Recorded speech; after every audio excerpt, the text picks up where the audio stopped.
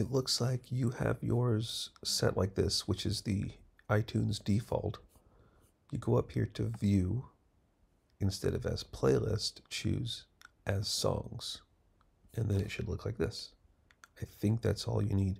The other thing, notice this here, I don't like this. I do Command J, and then I can get rid, I don't care about love or plays, but I do want the grouping, I want the year, and I think that's the only things I add.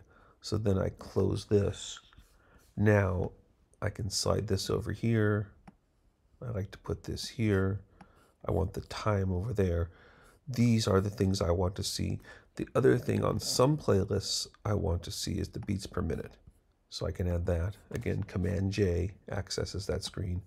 I like to put the BPM here this way, and then you can make these bigger or smaller. Wish you can get rid of these little dots, but that's actually kind of helpful because you can play next, play later. Um, but yes, like I want to see all of the artists.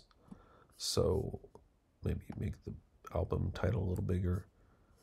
And that way you can sort by speed, sort by artist. So hopefully that answers your question.